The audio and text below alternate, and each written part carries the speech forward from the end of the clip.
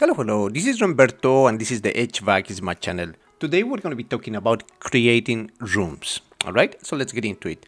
So in order to create rooms, we're going to show three options. Option number one, you're going to go to the shape toolbox and then you're going to click on room and then you easily can create a room. See in here, when you click and drag, you're gonna be able to see in here that that's gonna be 15 by 18, or you can make it make it always like 13 by 15 depending on the on your room layout see this is room number one and you can put in here bedroom number one. That's option number one.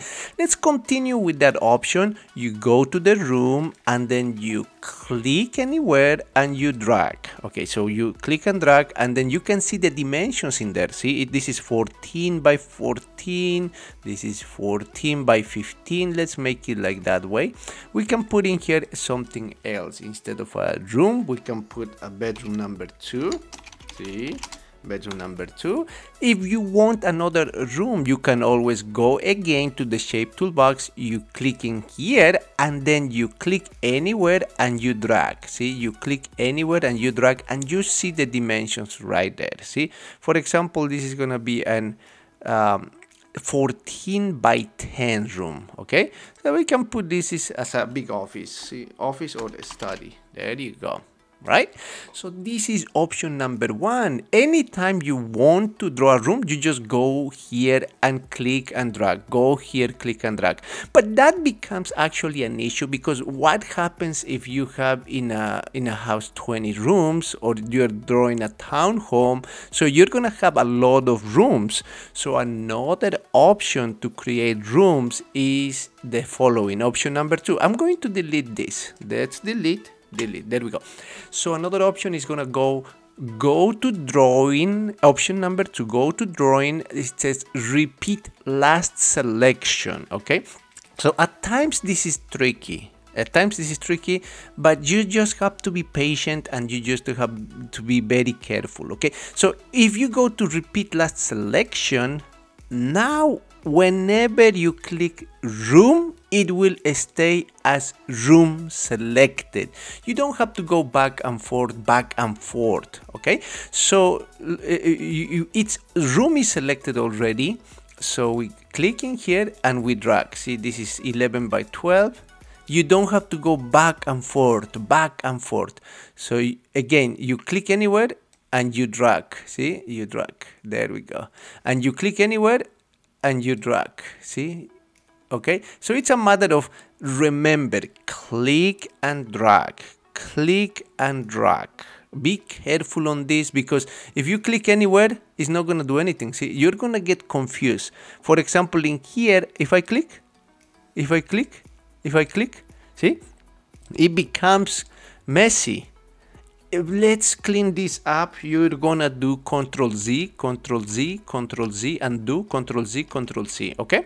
So let's make another room just in case in here. There we go. See? Because it's always in the selection. But what if you would like to select this room room number 11 and you would like to make another room or change the name?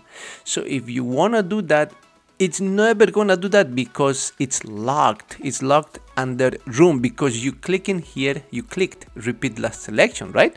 So if you want to do anything else go here to the select button okay? That's going to exit from room because if you hit escape nothing happens right?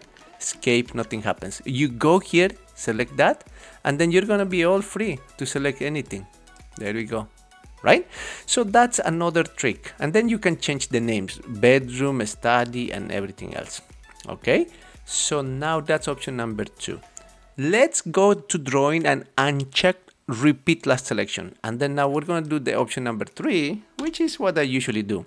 Uh, just go to the room option and this is unchecked by the way, repeat last selection. So go to the room and then click and drag one room okay and in there you can put it room number one now this is a, for me this is a very easy and quick way to make rooms okay once your room is created you click in here and then you do control c and then click anywhere outside and do Control V.